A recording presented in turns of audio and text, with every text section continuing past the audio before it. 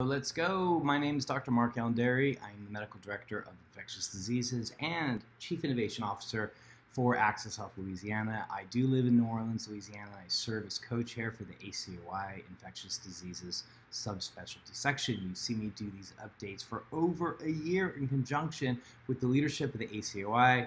Thank you, ACOI, for letting me do this. I hope these messages are getting to you uh, and uh, being able to keep up with the latest on COVID 19. I know many of you are in the thick of the fight. I'd like to thank all of you on behalf of us who are focusing daily on infectious diseases, and certainly on behalf of ACOI. Thank you, ACOI. All right. Oh, also on behalf of ACOI, I need to ask you are you registered for the ACOI virtual spring meetings? It's not too late. There are three meetings coming up. I'm talking uh, from May 11th to the 15th that are focusing on three important areas and all with an opportunity to earn much needed CME. So check them out on the ACOI website. And moving forward, together with the ACOI, thank you. We will continue to share information as it becomes available, as well as some hopeful progress that we are seeing. So, on to the stories. Herd immunity is not going to happen. Uh, this is a devastating story that appeared in the New York Times on Monday. I'm sure you all saw it certain phrases that have become common vernacular uh, as the COVID 19 pandemic has persisted over the past year. One of those phrases was herd immunity. Now, it was the idea that sometime soon in the future we would reach a point where the virus no longer had a leg up on us, that too many of us would be immune and it wouldn't have its grip on our way of life. That concept now sadly has changed herd immunity was based on how many of us in the US and throughout the world became vaccinated, how the virus evolved and mutated, and the speed by which vaccine supply became available to the world.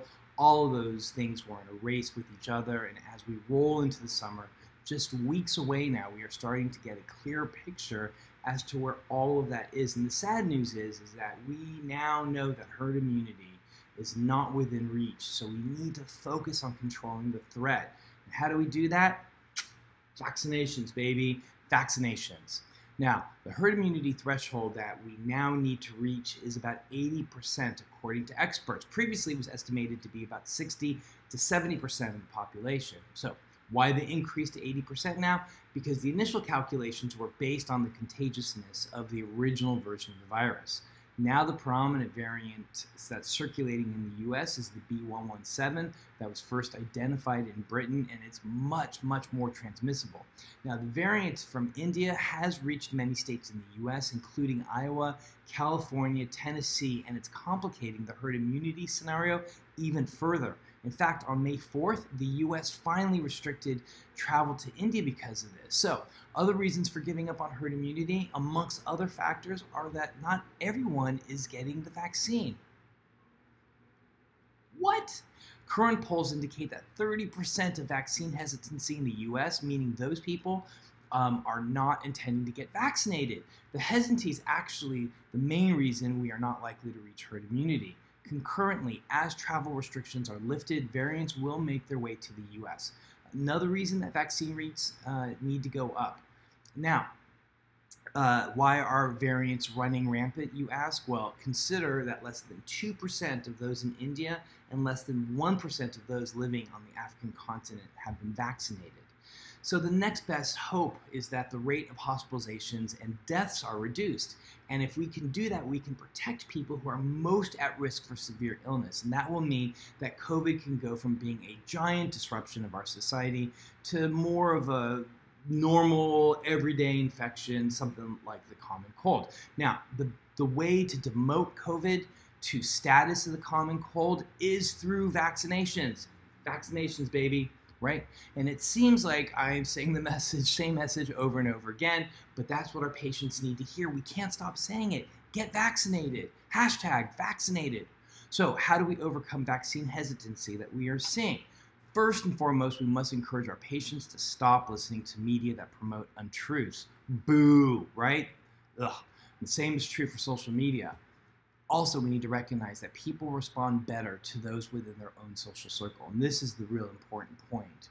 They need to see that their friends and family are getting vaccinated. And it makes them want to join that club. And it doesn't matter what our public leaders or celebrities are saying.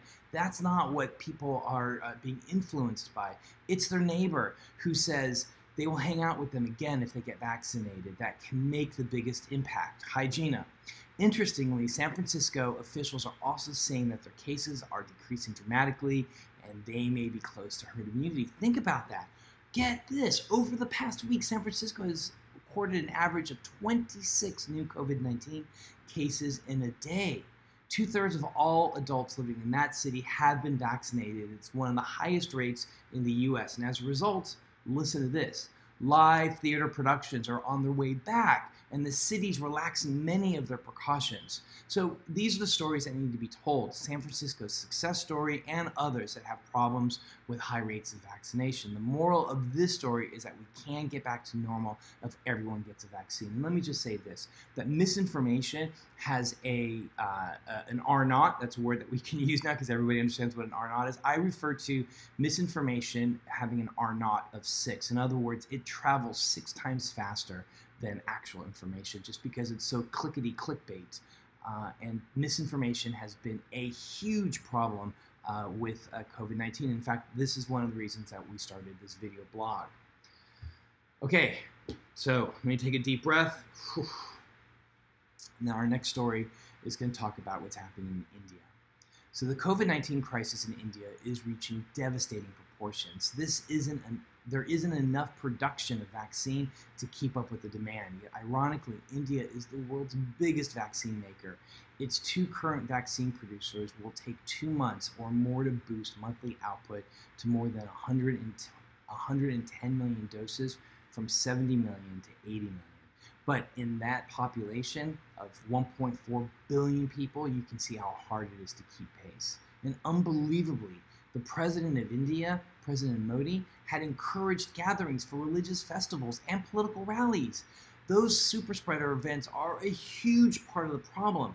Plus, the government has not imposed any emergency lockdowns. In fact, school teachers were ordered to oversee voting stations, and consequently, many who did caught the virus, and about 700 of those individuals died of COVID 19. Peace and love to you and your family. The crisis in India can best be understood when thinking about the sheer numbers. The ashes of bodies are overwhelming crematoriums.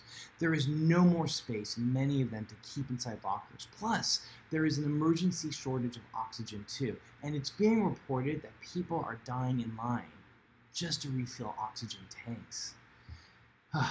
and hospitals are turning away even the most critically ill. And that's because with those hospitals, there aren't enough beds, doctors, nurses, ventilators, oxygen, or even medicines.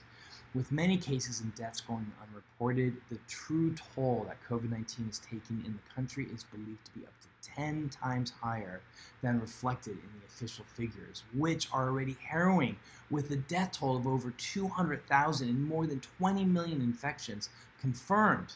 In India, it's killing people at a rate of 120 people per hour.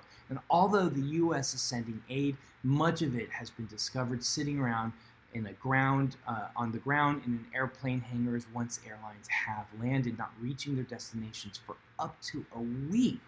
Clearly, logistics are playing a part of this perfect COVID 19 storm in India. And speaking of India, I want to exclaim my gratitude to Dr. Rajendra Kapila, who passed away on April 28th after a three week battle with COVID 19 in the medical community and in infectious diseases. He was known as a giant who contributed so much to the field and was known throughout the world for his accomplishments. He died in New Jersey after he went to India to help his family through the health crisis. And uh, although vaccinated, he did uh, catch the virus and he was 81 years old. And again, much props, much love, uh, and peace uh, to, to your family, uh, Dr. Kapila. All right, so let's end with some good news. Uh, good neighbor vaccine incentives in Detroit. Here in New Orleans, we were doing a shot for a shot. You'd show up, we'd give you a shot, you'd get a shot. That's New Orleans. That's the way we roll here.